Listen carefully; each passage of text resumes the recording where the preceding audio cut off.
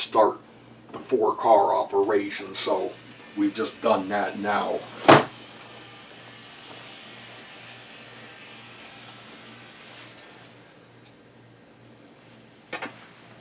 You can see what happened when car number four came in and across the detector. It slowed down to speed 10. Uh, car number one, which is up in front, the red car currently going back across the bridges, is running at mainline speed 20. And in, uh, in the front corner, you can see car two and car three kind of chasing each other there. It doesn't really matter how close those cars are in the yard area. And we're calling we got a sign here that says yard. We're calling this the yard area immediately downstream of the detector and kind of around the corner. Doesn't matter how close they are in the yard area, we just got to keep them uh, away from the front car. The front car, which is coming around by the detector right now, that has to cross the detector and not have any of the other cars chasing it immediately.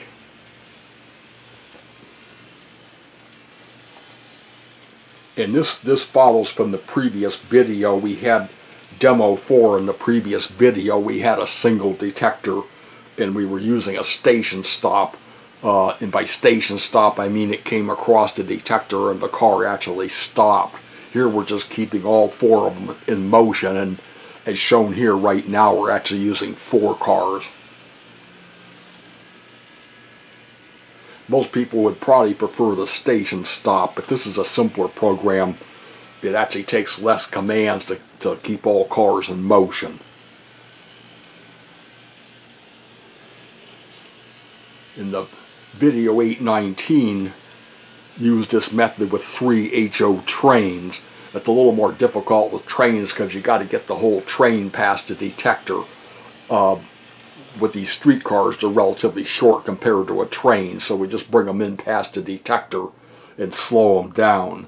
Now the, the repeat switch was open, which means it made one cycle, and it's it's going to stop and wait till somebody pushes a button again, and then the system will start up, which we'll do in a minute.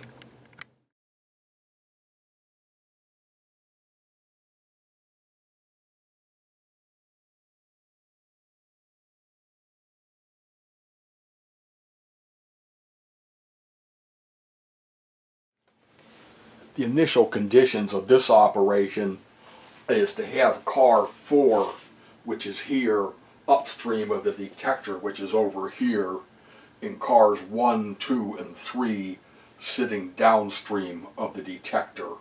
Uh, and the cars are numbered.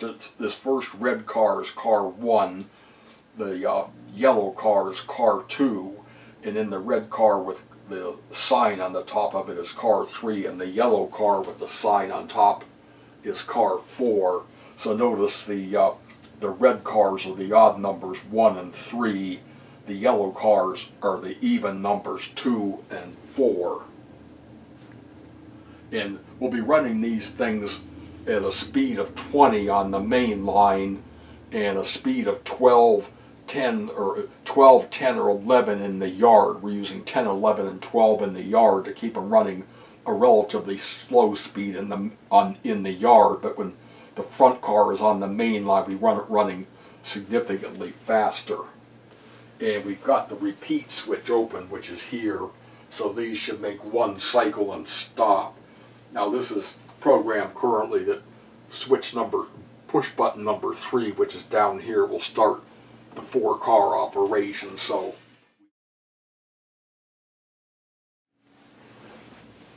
I'm going to go over here and I'm going to close the repeat switch and then push that button again. And this could be like a public display where they sit and wait till somebody from the public pushes the button. You can locate, you can wire these buttons in parallel so you can have another start button someplace out on the front of the layout where the public could push it.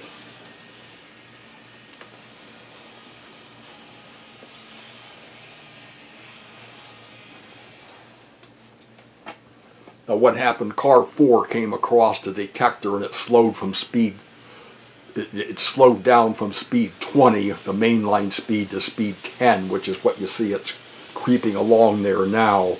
And car 3 in front of it's going just slightly faster. And likewise car 2, which is back there in the rear, uh, entering the first of the bridges. Now the red car, car number 1, that's on the inside, that's running at mainline speed 20 and it's heading for the detector. So when it crosses the detector, uh, car number 2, which is a yellow car back in the rear on the far end, that's speeded up to 20. You can see it's going in front of the control panel right now and where the power cab's laying there. That's running at speed 20.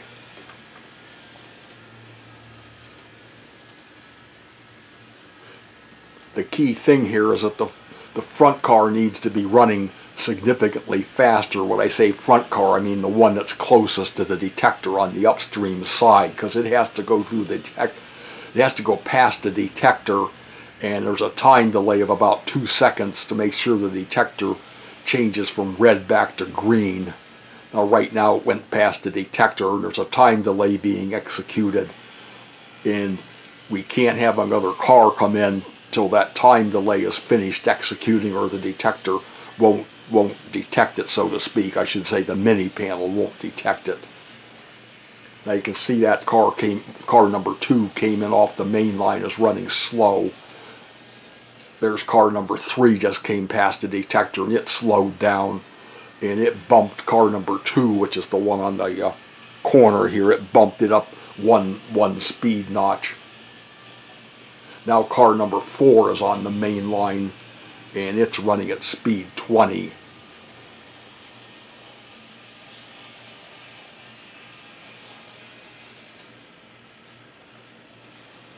So basically our, our logic here is we try to keep one car in the front on the main line running fast, at speed 20, and keep the other cars behind it running speed slow, so they speeds slower like 10, 11, and 12, so they stay back in the rear. And then when that car comes in across the detector, you see one coming now, that's car 1, it slows from speed 20 to down to speed 10, and we speed the, uh, the what's now the front car, which is the yellow one back there, we speed that up to speed 20 and bump the other cars up just one one speed notch, but they're still running slow.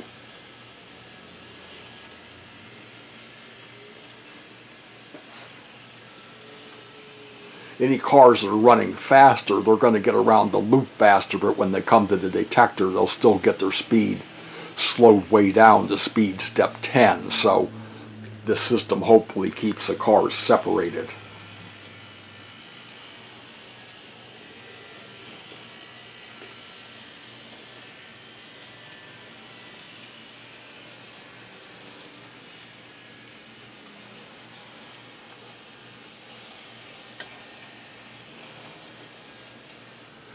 Since the first of these streetcar videos, 830 was the first one, we were using uh, uh, four-digit car numbers. What I did for the previous video, 831, in this video, I renumbered the cars 1, 2, 3, 4, 5, and 6, and just use a short address. It seems like it makes it easier to keep track of them. The, the numbers on the side of the car and N gauge are so small it's hard to read them, and uh, besides I've got duplicates.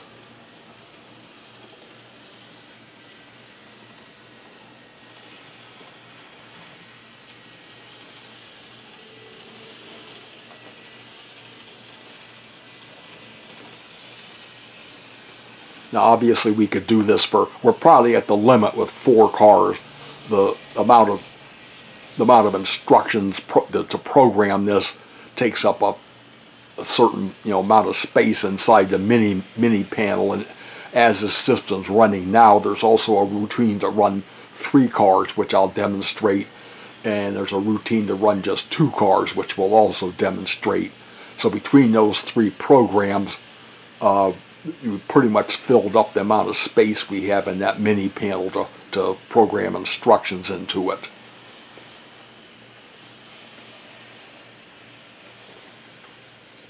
But uh, hope it's a fairly simple logic. Hopefully you can see the logic. The the car that's the car that's on the main line that that would be car car three right there. running. That's that's the front car, so it's running speed 20, and when it gets past the detector, we'll reduce its speed to 10, and then the cars in front of it will increase them one speed step. That one got increased from speed 10 to 11, and the car back in the rear on the bridge line, so to speak, got increased from 11 to 12. Just try to keep them running slow but still separated.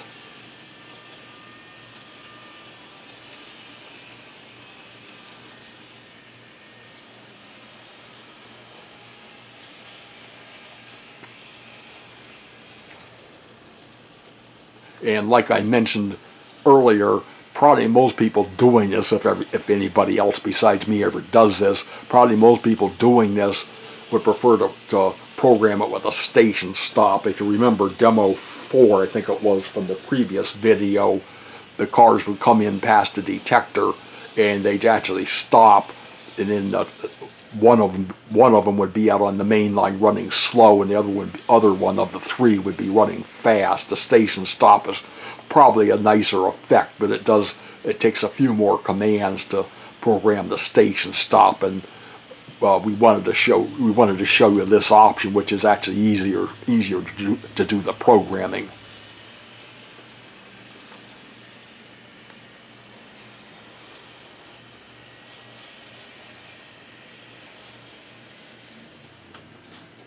Now go over there and open the repeat switch.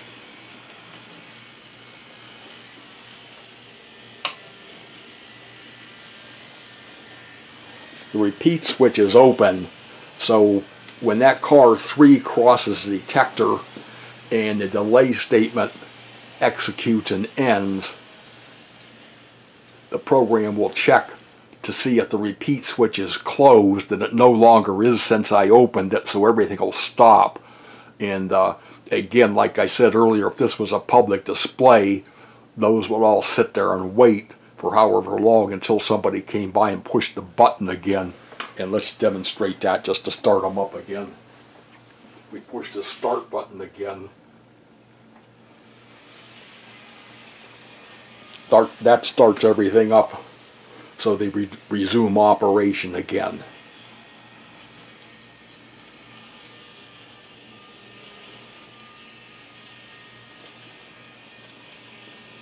Now when car number four passes in front of the detector, the mini panel will send the commands to start the other three cars up and everything will be in motion from that point. Now they're all three back in motion and if I go close the, close the repeat switch, these will just keep operating for as long as we leave the repeat switch closed.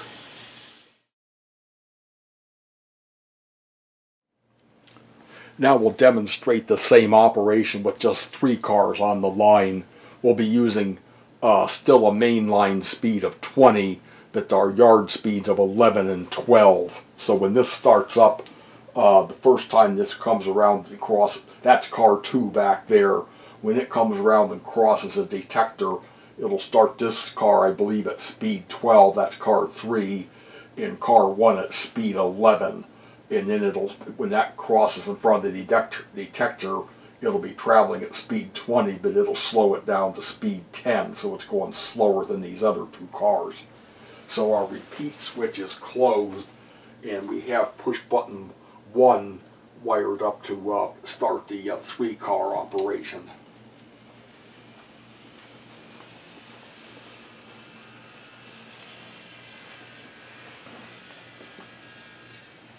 Now that yellow car, that's car 2, that slowed from speed 20 down to speed 10. Car 3 uh, is actually running at speed 20 because it's now the front car. And in the, the middle car, the, the red one there, car 1, that's running at speed 11, I believe.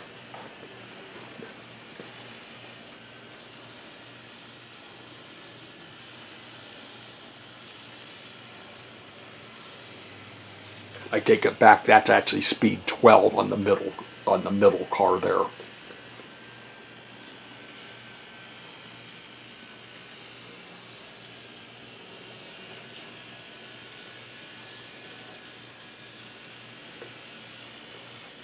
Now the same way car 3 is approaching the detector at speed 20. So when it crosses the detector, it'll be slowed, slowed down to speed 11. And the uh, yellow car back in the rear crossing the front, the furthermost bridge will be speeded up to speed 12. And then the uh, red car number 1 coming around the curb here, that's speeded up to 20.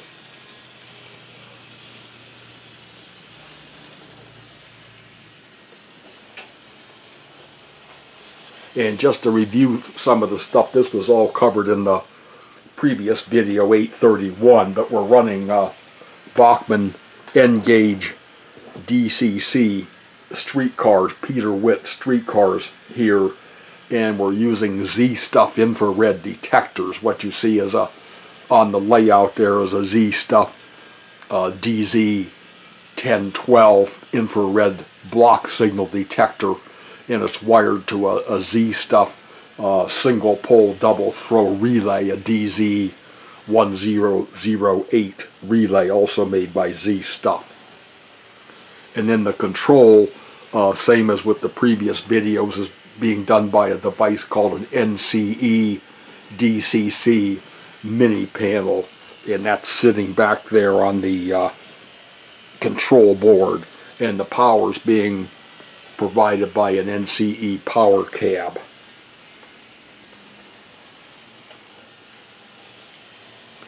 And we've got this thing back on the control board that I referred to earlier called a repeat switch.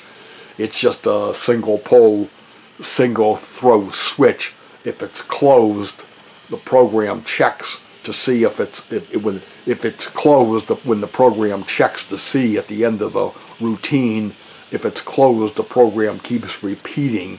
If what we call the repeat switch um, is open, the program checks that in at the end of the routine, and if it's open, it terminates, and that's how we stop the cars uh, gracefully, so to speak. The, the routine just ends.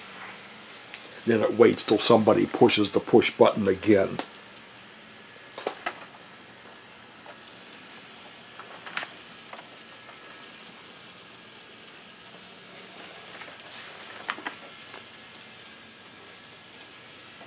In these, although we're using in this video the uh, Z stuff infrared detectors, this you know in a large, this probably could also you could use an electric eye under the track. We've done that in a few videos. I I haven't used the electric eyes a whole lot because I have problems with them being triggered by uh, external lights sometimes, or sometimes there's not enough light if, if I'm running a display and they put me in a dark corner. I've had that happen also, or I've had to go find a table lamp and shine it on the layout to get enough light to operate the electric eye. But if, if this was a larger scale, probably HO or larger, you could probably use a magnet on the bottom of the car and a reed switch in the track is, a, is an alternate method of detection. All, you, all you're doing, you're grounding an input of the mini panel. You're, you're just connecting an input in this case, we're using input 14. Uh, we're grounding input 14. When that, like when that red car coming in front of the detector, when that changes to red, uh, the block signal closes the stuff, Z stuff relay, which grounds input 14, and that's how the mini panel knows that that car has arrived. So that could be done by a, a reed switch also.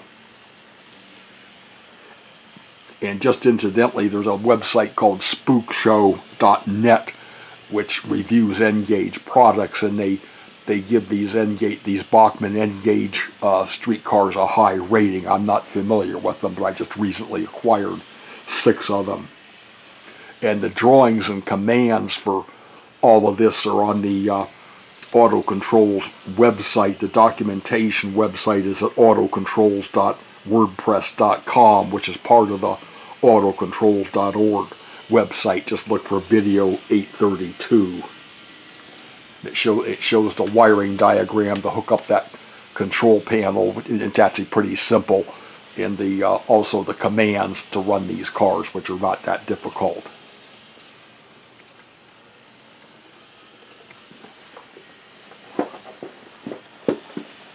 Now we'll open the repeat switch.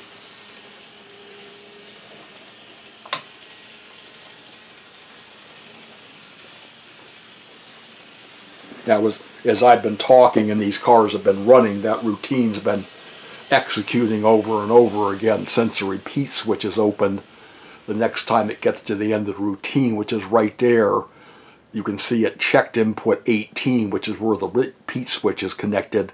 And since that was open, the uh, the it stopped executing commands. So again, if this was like on a public display or something, those cars would sit there with their lights on, ready to go until somebody pushed the start button. And incidentally, there's there's uh, commands in the routine to turn the lights on automatically, so I don't have to do that manually.